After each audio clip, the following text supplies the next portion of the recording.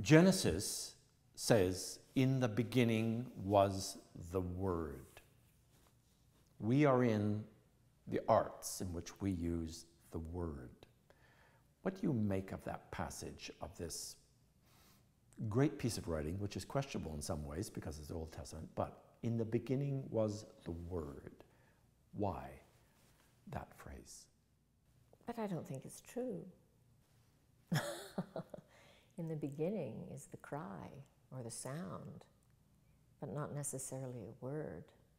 When we come into this life, we, you know, the mewling and puking of the baby. But I mean, in the beginning, in the beginning, perhaps, of civilization, of connection, maybe the word.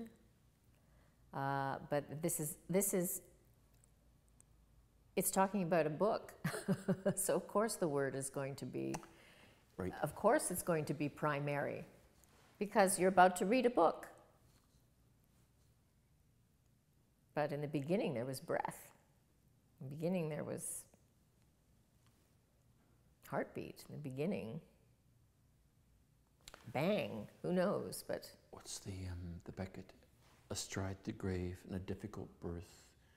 In the grave digger, in the grave, the grave digger puts on, lingeringly puts on the forceps. The air is full of our cries. We have time to grow old. So in the beginning was the cry, the, the breath. cry, the breath, the cry.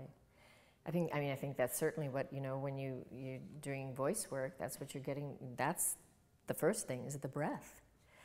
You know, even trying to unlearn all those things about fill your belly with breath. You know, when you breathe, or you know, the, or that you hold your breath in, or you, you're holding it up here, or Rib reserve breathing? rib reserve, all that stuff. You know, all that stuff. Whereas if you're clear in thought, the breath will be there. We rarely run out of breath when we're talking. That was my esoteric question. Thank you very much. that was your esoteric question.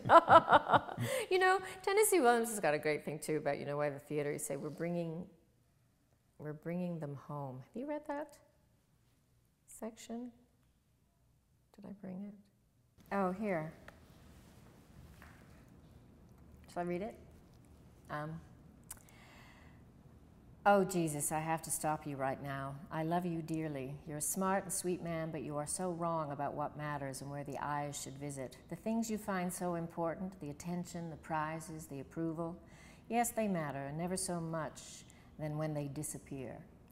But I'm old now, and I've walked a long and rocky road, and what really mattered, what should matter most to you, is the rare and gorgeous experience of reaching out through your work and your actions and connecting to others.